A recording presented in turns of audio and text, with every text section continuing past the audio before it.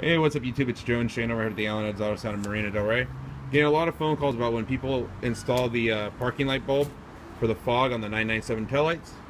They actually want to just have just the fog, no parking light. So if you look at the bulb, the pins are offset on these bulbs, right there, where Joe's put in his hand. And the prong you tape off is the one closest to the two prongs just like that. And trim it. And then you just trim it with a little, uh, I don't know, razor blade or an X-Acto knife.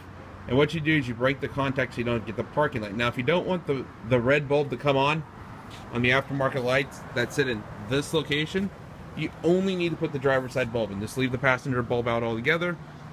You'll never have to worry about the problem. It's a simple bulb mode to get that, that full D pattern that we like. We're going to go ahead and pop these onto the car right now, and then we'll show you what it looks like after the install's done.